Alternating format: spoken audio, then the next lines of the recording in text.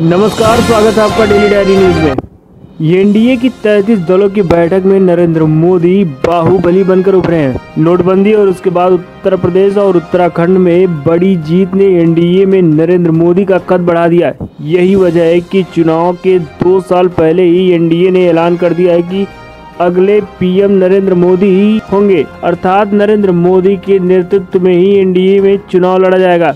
NDA बैठक शुरू होने पर ही अंदाज़ा लगाया जा रहा था कि बैठक के केंद्र में राष्ट्रपति चुनाव होंगे, लेकिन बैठक का सिर्फ़ एक ही मुद्दा था, और वो 2019 के चुनाव के लिए पीएम नरेंद्र मोदी का समर्थन। एनडीए पूरी तरह से मोदी के पीछे खड़ा हुआ है। सबका साथ, सबका विकास की थीम के साथ एनडीए की बैठक में सहयोगियों की अगवानी खुद बीजेपी अध्यक्ष अमित शाह कर रहे थे।